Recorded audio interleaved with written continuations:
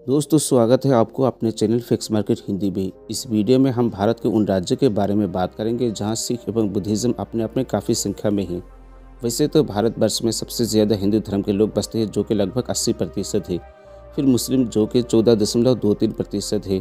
तीसरे नंबर पर है ईसाई, जो कि महज दो दशमलव तीन शून्य प्रतिशत है। जबकि सिख समुदाय एक दशमलव सात दो फ़ीसदी, वहीं बुद्धिस्ट केवल शून्य दशमलव सात शून्य प्रतिशत है। यानी ना के बराबर है। फिर भी कुछ राज्य में ये दोनों समुदाय बड़ी संख्या में है। तो चलिए दोस्तों, देखते हैं कौन से राज्य है जहाँ सिख एवं बुद्धिज्म काफ़ी संख्या में है। नंबर पाँच पर है जम्मू कश्मीर। यहाँ पर एक दशमलव आठ सात प्रतिशत सिख समुदाय के लोग बसते हैं।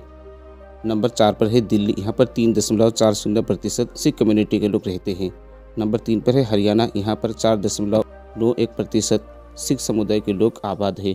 नंबर दो पर है, चंडीगढ़। यहाँ पर तेरह दशमलव एक एक प्रतिशत सिख कम्युनिटी के लोग आबाद है। नंबर एक पर है, पंजाब। यहाँ पर सत्तावन दशमलव छः नौ प्रतिशत सिख आबादी है।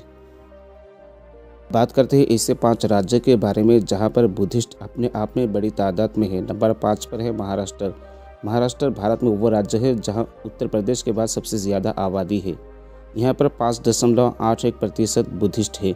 नंबर चार पर है, मिजोरम। ये आबादी के हिसाब से बहुत छोटा राज्य है। यहाँ पर आठ दशमलव पाँच एक प्रतिशत बुद्धिस्ट कम्युनिटी लोग रहते हैं। नंबर तीन पर है अरुणाचल प्रदेश। यहाँ पर तेरह फ़ीसदी बुद्धिस्ट की आबादी है। ये भी आबादी के हिसाब से बहुत छोटा राज्य है। नंबर दो पर है सिक्किम। यहाँ पर सत्ताईस दशमलव तीन पाँच प्रतिशत बुद्धिस्ट की आबादी है।